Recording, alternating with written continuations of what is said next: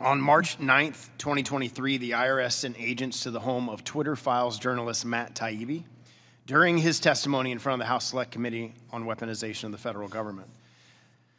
IRS agents don't generally just show up at taxpayer homes, making the situation even more bizarre. The agents left a note telling Mr. Taibbi to call them.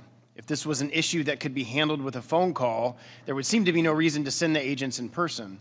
The presumption has to be that this was an attempt to intimidate a witness unless it can be proven otherwise. I mean, this is the type of tactics you see in Soviet or communist China. Are you willing to state that there is an appearance of impropriety when an executive branch agent shows up at the home of a witness testifying before Congress, literally at the time while he's testifying before a committee? Congressman, Section 6103 prohibits me from responding to specific questions to an incident involving a taxpayer. Okay, well, do you, did, did you approve of the visit to Mr. Taibbi's home? Again, same, same. Who would, who would approve that? What would be the approval process? Again, I would be breaking the law if I asked a question specific to a specific incident of a taxpayer. Okay, well, let me ask you this way. Is there any incidences with any taxpayer that you would have to approve the involvement of? Either an agent going to their house or approval of an investigation? As a general rule, the IRS commissioner is not involved. So who would be, as a general rule? As a general rule, we have uh, IRS personnel that work to ensure that individuals are complying with the tax code. So, for example, if they don't file, we will send a letter. Uh, if they owe a debt, we will reach out with a letter. There are, I think it's important to understand it, a very broad sense, without commenting on any specific taxpayer. The IRS reaches out in multiple ways to educate taxpayers while ensuring it fairly enforces our tax. Well, obviously, there's got to be some type of approval process for investigations, right? So, like, whether it's Mr. Taibbi or whoever, what is that process within the IRS? And are there instances, depending on the profile of the taxpayer, that you would be involved? And if you would not be involved, who is the approval process for opening an investigation, going to an individual's home? How does that work? Okay, again, making sure that I'm careful. I'm, I'm speaking completely generally here. Yeah.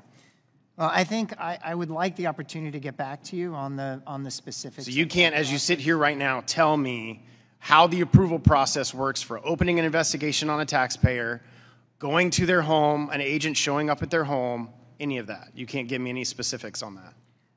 I will offer, as a general matter, one important clarifying point to your questions, which is any home visit that occurs is typically uh, after the taxpayer has been contacted uh, through a letter or some less invasive method, and we were not able to contact the taxpayer in that way.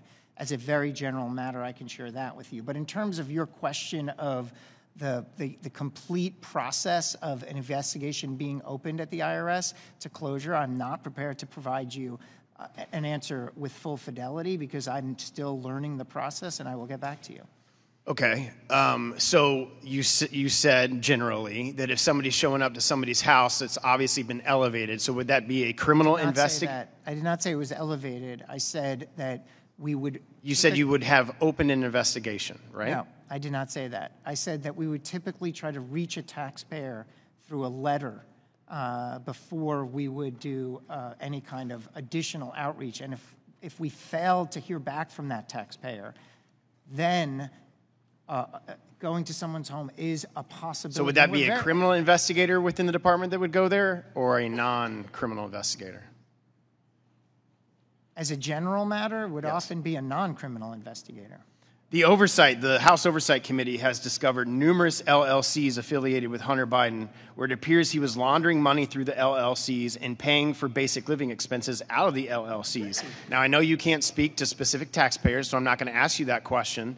But if the House Oversight Committee has evidence of a crime that was committed or what appears to be tax fraud or tax evasion, who would they get those documents to within your department? Is that something that we should get directly to you? No, again, the IRS commissioner would not be involved. When there is an, and again, not specific to any specific taxpayer, but when there is an allegation of any kind, particular from a, a, a whistleblower or anything like that, or evidence deduced from a oversight committee in Congress? Exactly, exactly. So What- who, my who, role is who would it be within your Inspector General. department that would handle that investigation? the Inspector General.